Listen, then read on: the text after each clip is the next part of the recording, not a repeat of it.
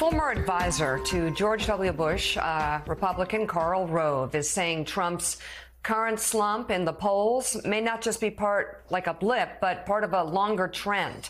On Fox News on Saturday, Rove broke down why he thinks this is the case. There's been a trend since the, Mar- the May 30th guilty uh, verdict in, in the New York uh, case. So Biden has had uh, numbers that have been, been, moving up a little bit under women and seniors. He's still underperforming among women. Trump is doing well among black, Hispanic, and young compared to previous Republican campaigns and his own.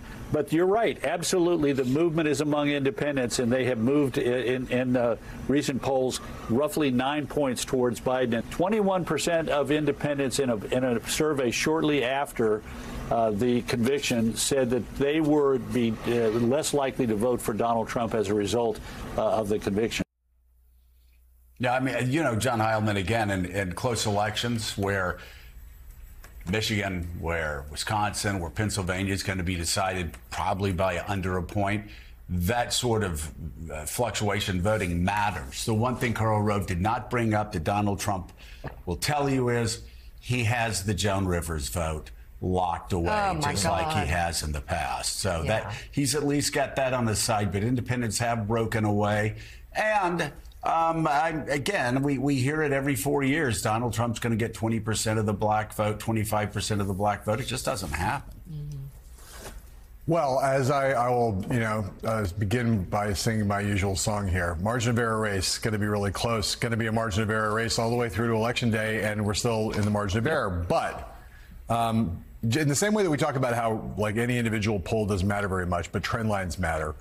Um, you know, I sat down with uh, with Jen O'Malley Dillon last week and talked about the numbers, and you look at the fact that Trump's basically this year, calendar year, Trump's peak lead in the polling averages was at its peak in January after the Hur report came out, about four points.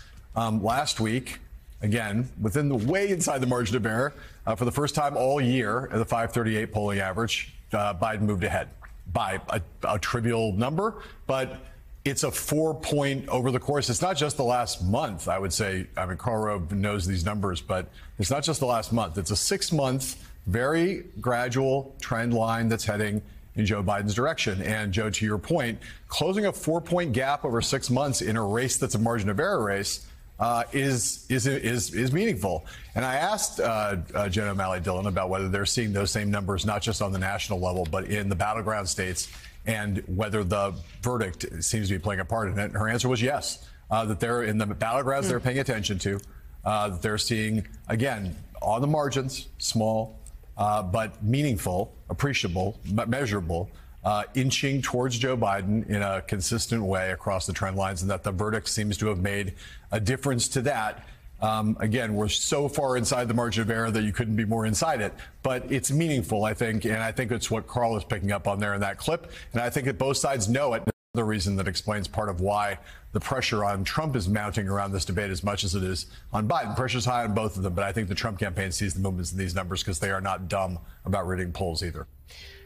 Hey there, MSNBC fans. I'm Luke Russert, and be sure to join me, Rachel Maddow, Jen Psaki, Lawrence O'Donnell, Steve Kornacki, Joy Reid, and many more September 7th in Brooklyn MSNBC Live Democracy 2024. Click on the link for ticket information. We will see you there.